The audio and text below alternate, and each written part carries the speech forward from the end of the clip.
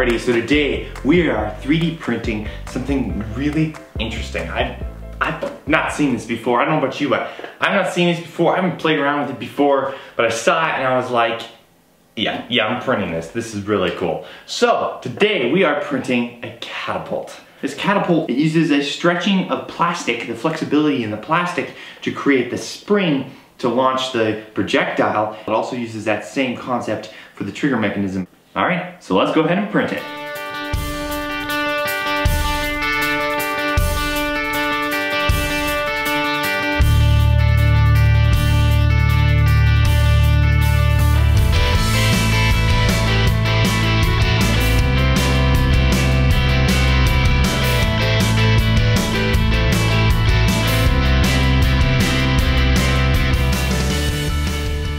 Alrighty, the part has finished.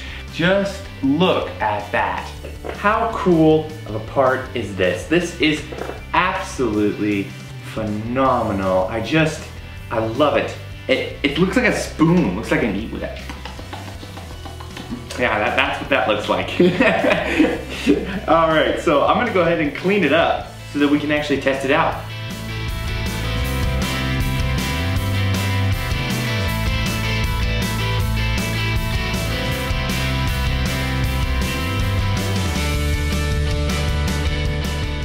All right, so the part is clean. Now, the question is, does it work? Okay, so, I don't know what's gonna happen. Here we go, I'm gonna test, I'm gonna do the trigger first. Hopefully the trigger doesn't break. Here we go. Oh, no, it didn't break. It works. Ah, oh, the snapping was just the little barrier here. So let's try this one next. Here we go. Here we go. I'm gonna, I'm gonna grab it low at the base and pull it back, hopefully less likely for this thing to actually break. Here we go. Oh my gosh. Oh my gosh. Should we try it? Okay, okay, loading. Loaded. Fire! Oh, it works! Oh, that's awesome. I gotta get some ammo. Okay, now I'm gonna put some ammo in. Hopefully these dimes will work here. Okay, loading back. We're cocked and ready to go. Okay, ready? And fire! What? That is so cool! Oh my gosh. This is legitly fun. Putting a new one in. Fire! so much fun. Fire! Oops, sorry camera.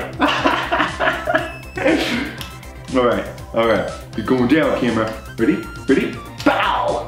Oh, so much fun. I'm gonna have dimes all over my room. Oh man. Okay, look at this, look at this. It's really simple to load this thing. You literally just cock it back, boom, like that. You put your projectile in, like so, and you push the button.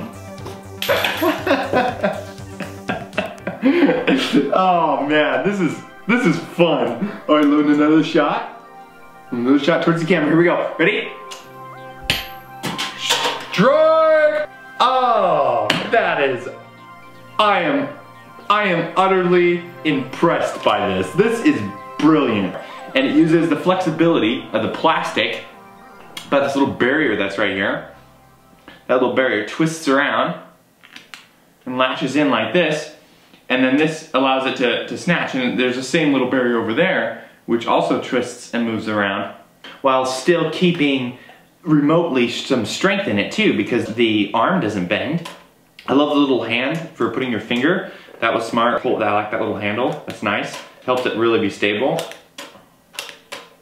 That is so much fun. This is absolutely fun. I love this.